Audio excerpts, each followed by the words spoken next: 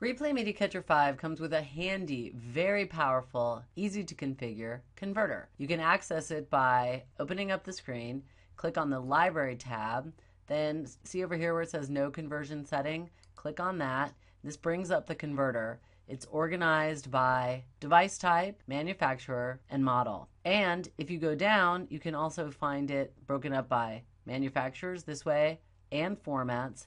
Additionally, you can change where your converted files are being saved, whether or not you want to convert at all, and then you can configure the converter in a variety of different ways by adjusting the settings and naming tab. Last but not least, of course, you can ask that all your recorded files and imported into iTunes. You can also access the converter this way. Click the down arrow next to your recorded file, go down to convert. If no conversion setting is set, which it isn't here, it says here, please select a conversion setting from the list below and try again.